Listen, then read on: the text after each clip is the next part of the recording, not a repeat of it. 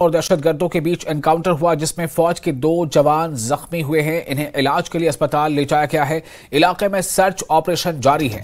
जराये के मुताबिक बांडीपोरा में मौजूद दहशतगर्दों का यह गिरोह पाकिस्तान से दौरंदाजी करके आया है। इस गिरोह को लोकसभा चुनाव के दौरान गड़बड़ी फैलाने का टास्क दिया गया है। फौज, पुलिस और नीम फौजी दस्ते का इलाके में ज्वाइंट ऑपरेशन जारी है।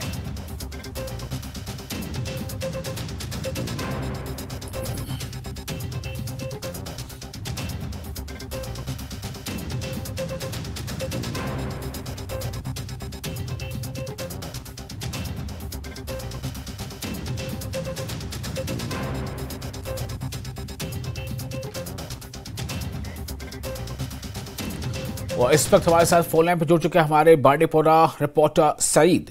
सईद, अभी हमें बताएँ, इस वक्त क्या ताज़ा सूरत हाल है?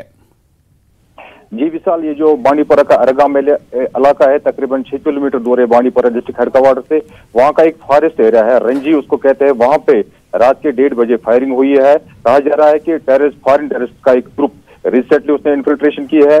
वो बांडीपुरा के जंगलात में छुपा हुआ है तो ताम जब फौज को ये इतना मिली, उसके बाद वहाँ पे कोऑर्डिनेट सर्च ऑपरेशन चलाया गया। इब्तदाई जो फायरिंग हुई, उसमें फौज के दो जवान जख्मी हुए हैं, जिसकी तस्दीक हो चुकी है। फ़िलहाल जो एरिया है, वहाँ पे इस टाइम भी सर्च ऑपरेशन चल रहा है, और जो फौज की नई टुकड़ियाँ हैं, वो इलाके की ओर चल रही है।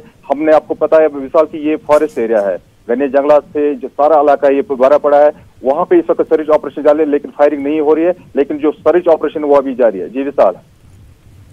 सईद क्या लग रहा है और ये ऑपरेशन कॉर्डन ऑफ़ थोड़ा सा और शिकंजा कसता जा रहा है दहशतगर्दों पर? जी, बिल्कुल, क्योंकि फौज ने पूरे एरिया एरिया को वहाँ में लिया है, वहाँ पे पुलिस भी मौजूद है। और क्योंकि इस टाइम और विशाल, आपको पता है कि इलेक्शन चल रहे हैं।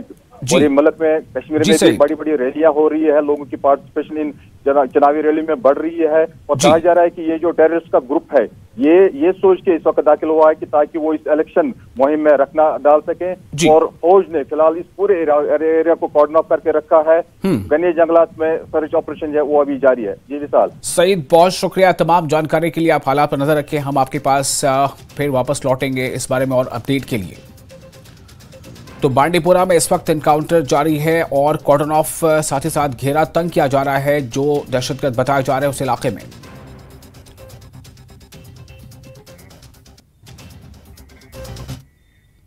और राजौरी